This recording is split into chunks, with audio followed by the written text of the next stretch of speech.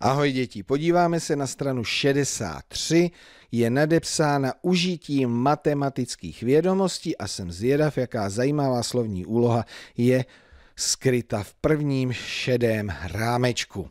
Loupežníci okradli pocestné o zlaté, stříbrné a bronzové mince.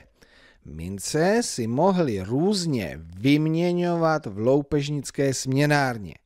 Loupežník Lidumil vyměnil 8 stříbrných za 10 bronzových mincí. Loupežník Lajdák vyměnil 4 zlaté mince za 15 bronzových a loupežník Bručoun chtěl vyměnit jednu zlatou minci za stříbrné. Kolik stříbrných loupežník Bručoun ve směnárně dostal?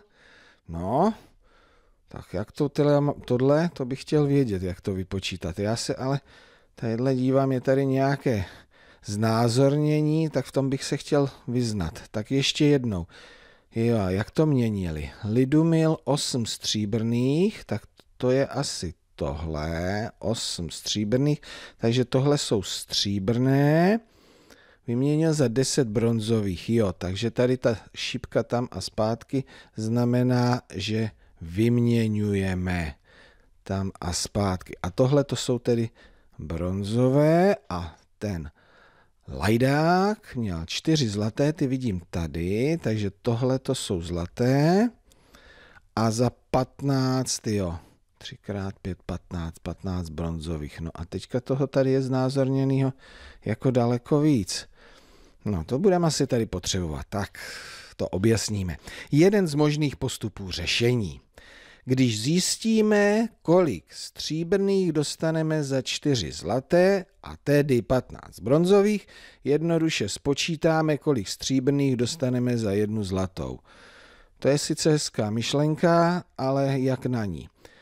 Víme, že za 10 bronzových dostaneme 8 stříbrných. To jsem si tady obtáhnul. To je, ta, to, je to Lidumilovo vyměňování.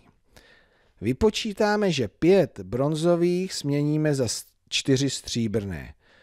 Jo, to tady je taky vidět, když za 10, 8, tak za 5, 4. Jo, za 5 bronzových, 4 stříbrné. Jo, s tím souhlasím.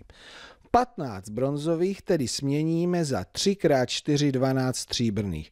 Jo, ty pětky jsou tady 3, Jo, a když jsou tady tři, tak eh, to budou taky 3 x 4, 12. Tak to už jsem tady. Takže za 15 bronzových mám 12 stříbrných. Víme, že 4 zlaté rovná se 12 stříbrných. Za jednu zlatou tedy dostaneme 12 děleno 4 rovná se 3 stříbrné. Loupežník Bručoun dostal 3 stříbrné mince. Takže ještě jednou.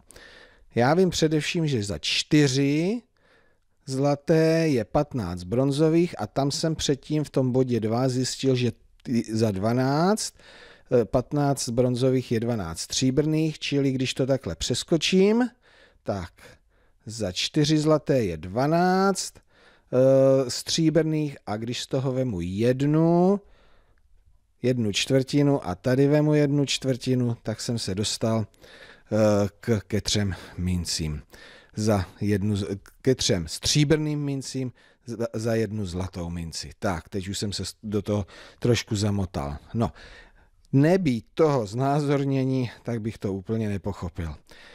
Zajímavá slovní úloha a těším se na ty další.